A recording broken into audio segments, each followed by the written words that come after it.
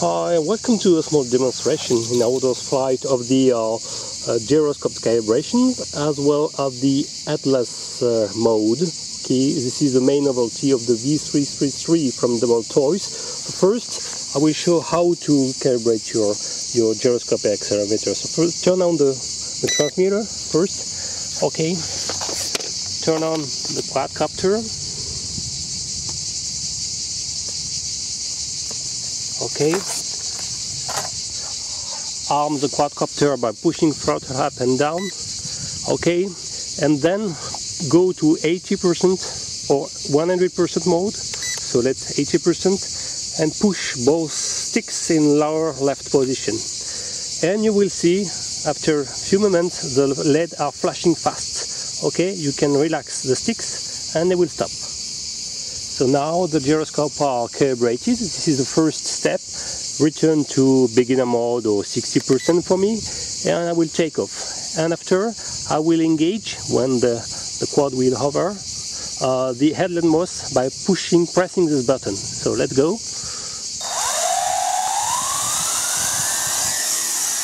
Okay, actually I am in a normal flight. So if I'm hovering it's completely normal. Now I will press on the radio the, the headless mode. So I, I started the quadcopter front of me and now the reference will be front of me. Okay, I push. And now I am in headless mode, you have a long beep. So if I want to go forward and I turn, now to return, I'm pressing this key. Okay, As, for example, now the quadcopter is face of me and to return to my position I push back. Okay? Instead of uh, look, it's completely inverted because I am in headless mode. So it's much more easy for beginner, okay, at the beginning. So to exit from this mode, press again this key and now I am in normal so. Okay this is uh, a V333 I am in 60% mode. It's a little bit windy but it's okay. The range is very good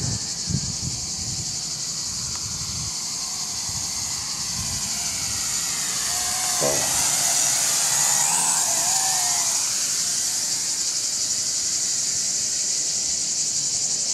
You can see the effect of the wind. I'm turning.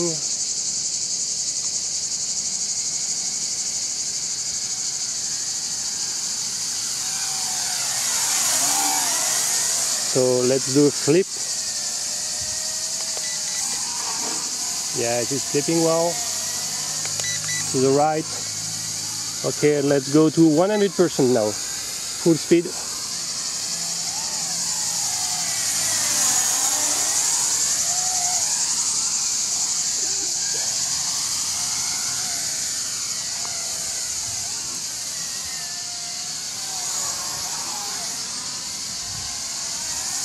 Okay, the canopy is slowing down a little bit the quadcopter in windy days, but uh, of course without the quadcopter is much much more faster. It's already that bad.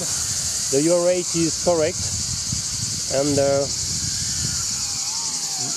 the yaw rate is uh, proportional to the speed mode. So, for example, if I return to to 40 percent Look, the yaw rate is much more slower. Now in 80%, it's much more faster. You can turn off the light by pressing on the radio. You have the light button there, the middle one, and now the lights are turned off, and I can turn on the light like this. You have an LVC LED alarm LEDs. When the LEDs are flashing, it means that you reach the LVC